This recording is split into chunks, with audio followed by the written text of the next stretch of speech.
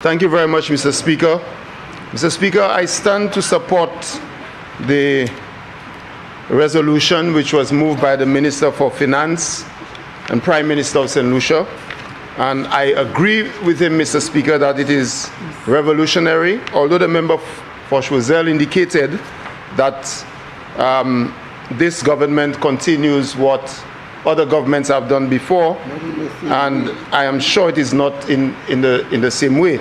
And I know the Minister for Finance will clarify. But, Mr. Speaker, before I continue, I wish for you to give me a few seconds just to congratulate um, the, the police. I want to join my colleagues in, con, you know, to congratulate the police, the revelers, the, the, the, the, all of the team, the team members, the leaders, I want to pay special tribute to my colleague, the Deputy Prime Minister and the Member of Parliament for Castries South for his sterling leadership over the last few months in the Carnival, the, the, the, Calypso, and so on. We had practically an incident-free season.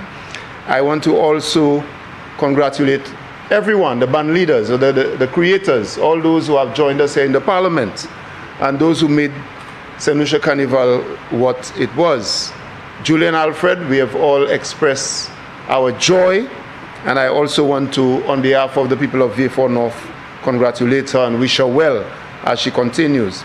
Mr. Speaker, I wish before I, I say a few words on this resolution, just to say a very special thanks to the professionals, the medical professionals in St. Lucia, who over the, the years have attempted and in some respects very successfully. Some of them have established medical practices, um, professional, very um, sought after services in St. Lucia, and they have provided a space for the people of St. Lucia to access high quality services. Mr. Speaker, many of them have established, whether it be at the private hospital or in their own private offices. And if you go around the country, especially in the Vieux-Fort area, the, the, the, um, the Castries area and so on, the north of the island, in the south of the island, you see more and more medical professionals establishing not just offices, not just the traditional doctor's offices, but you, you realize they're establishing services almost like mini hospitals. You go to establishments and you, you can see many professionals all at once, and you get a sense based on evidence that the doctors in St. Lucia, the medical professionals, whether they be providing dialysis services or other services, are really expanding their services, and this resolution will assist them in that regard. I recently returned, I returned from a, a, a trip, a tour of the new hospital which has been constructed in Guadeloupe. And Mr. Speaker, it is amazing to see the kind of, of equipment that they have over there. I'm sure in Martinique, neighboring Martinique, same thing. And you would think, Mr. Speaker, that it is just the skills, but it's not, it's not just their skills. We have doctors and professionals in St. Lucia who can do just the same. And as the Prime Minister said a while ago, what we are lacking is a lot of the equipment. And I know for, for a fact, Mr. Speaker, that even as we speak, there are medical professionals in St. Lucia who have applied for, for certain um, waivers have applied to the cabinet, and very soon I'm sure you will hear announcements of some very advanced services uh, that will be provided by them to St. Lucians. And so, Mr. Speaker, when our people travel to, to Martinique or, or Guadeloupe or other countries, it is not because our professionals do not have the skills. There are some very complicated surgeries that are being carried out in St. Lucia not too long ago, a constituent of mine, God bless his, God bless him, a and his doctors, a constituent of mine just collapsed in his garden. A very good friend of mine, Mr. Speaker, and it was found that that he had a very um, he had some severe trauma in his brain. And Mr. Speaker, some time ago when you hear things like that, you would not believe that there are medical professionals in St. Lucia, particularly one of them, Mr. Speaker, who who, you know, he opens up your skull, you know, removes your part of your scalp, surgical procedure on your brain, and right now this gentleman is fine after, after surgery. So there are some very good examples of neurosurgeons and other medical professionals in St. Lucia who are sought after and who have really done well and who are developing um, medical tourism services in St. Lucia and also services for our own people.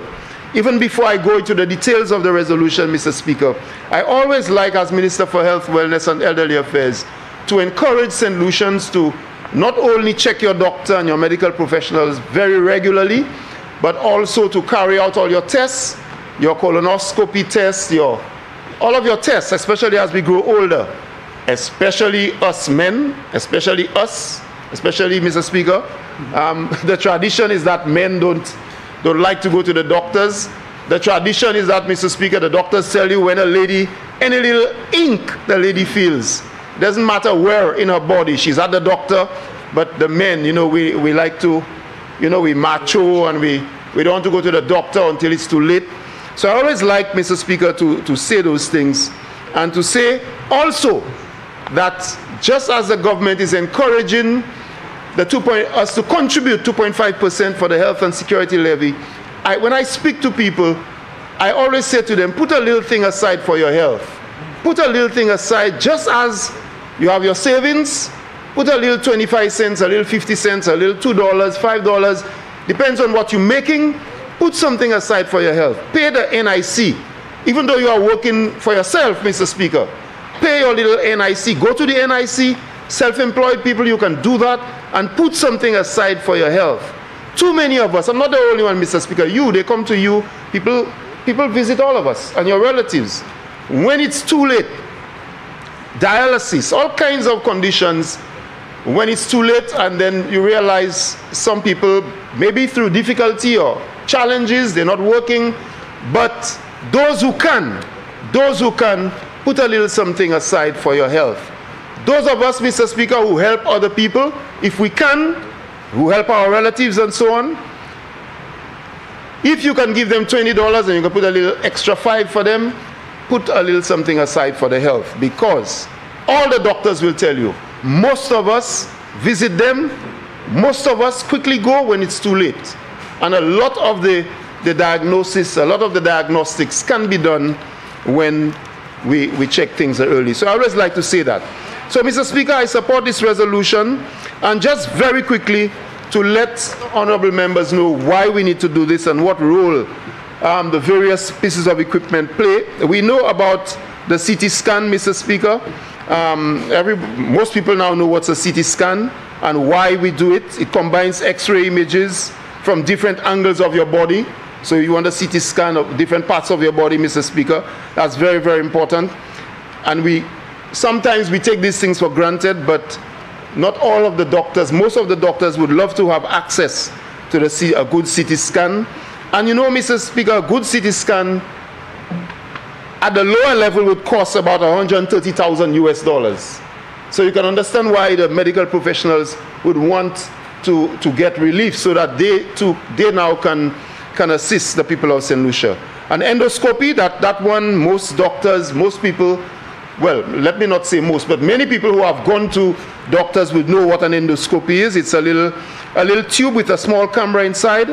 It goes through your body, through your mouth, and, and the doctor can, can check. So it's important. No, no, no.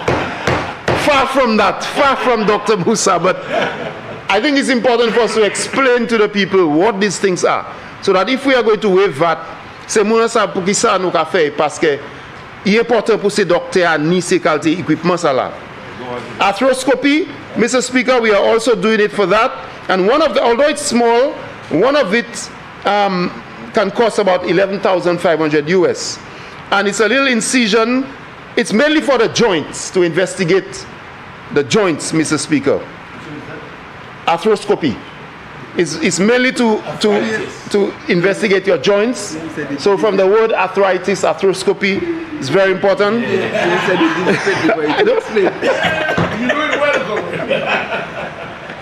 And we also have, by, by, the way, Mr. Speaker, while my colleagues, um, you know, tease me a bit, um, these, these can be found, you know, Mr. Speaker. You can just Google them. And I, I, I don't want to make anybody think about, you know, eh, when we're in the parliament, we must encourage the people of St. Lucia while we speak to go check it out. Check what we're saying, to make fact check us, to make sure that what we're saying, and we on this side, we always give you the real thing. So the, as we know, the, the, the hysteroscopy is from the word hysterectomy, from the word his, you know, it, it has to do with, with the ladies and so on, and to check. Um, we can go on and on. The ultrasound, Mr. Speaker, echocardiography, ultrasound, you know, cardio has to do with what? With the heart. I, I spent 32 years as a teacher, so cardio, cardio has to do with the heart. So that's very important, very important ultrasound. And our medical professionals are saying to us more and more, we are finding people in St. Lucia who are coming, who are having challenges with heart disease. So it's very, very important to don't wait until we have something to go check. Just like you do your normal checks, it's good to go to the, to the cardiologist and just check your heart, check your, your heart to make sure everything is okay. A mammogram, I think most people are familiar with that. Um, many ladies have gone for the, the, the mammogram. Colonoscopy, and um, the, the, I think we need to, there's a little mistake, I believe, with the spelling there. So it should really be a colonoscopy. And again, that's another one many of us are afraid of. People tell you they don't want to do it. For your, especially men, it's for your colon.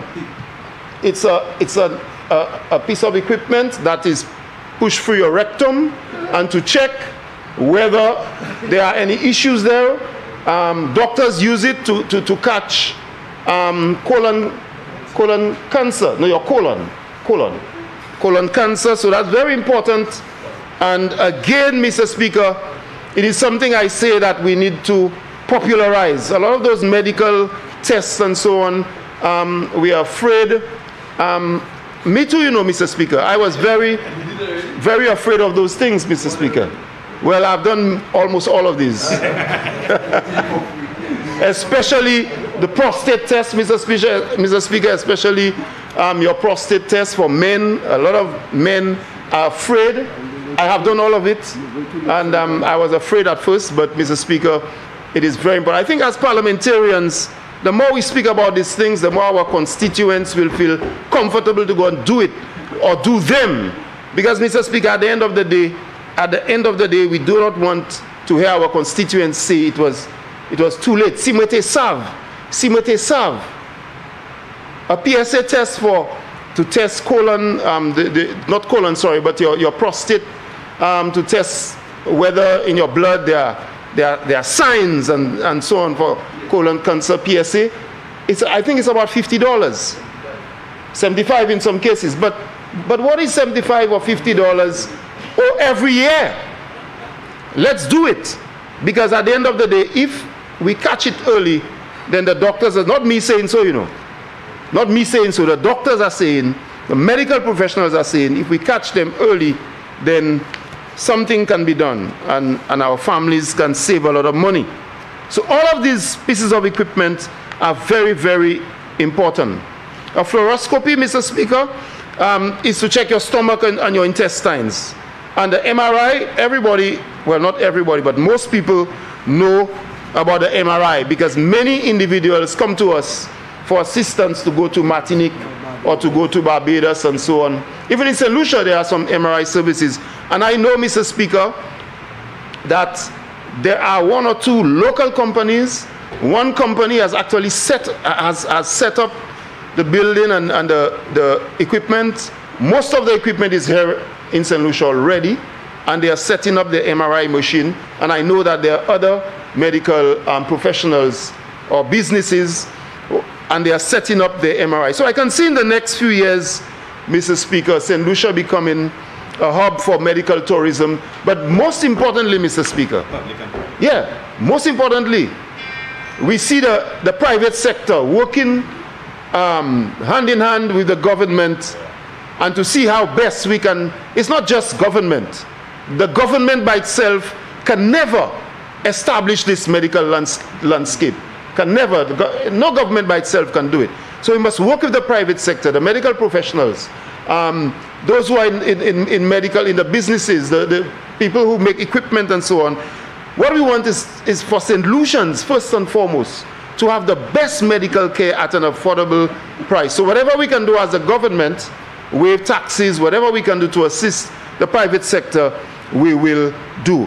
And Mr. Speaker, the, the, the, the troublesome, the, the, troublesome one, which is an, really an endoscopy for the gastrointestinal and lower, upper gastro and lower gastro tract, Mr. Speaker, um, the, the cholangiopancreatography. Really, what does it do? It's really an x-ray to treat problems of the bile duct and the, and the pancreatic duct, bile and pancreas. So again, Mr. Speaker, it's just a long word, but if you break it down, it's really, it's not difficult, you know. Just break it down. And I encourage all our viewers and members of parliament, once again before I sit, Mr. Speaker, I encourage everyone to, to do all of your tests. Carnival is over and so on. You have a, a little, take a little two weeks, drink a lot of water and so on. Go to your doctor, do all of your tests, your prostate, your everything, your mammogram and so on.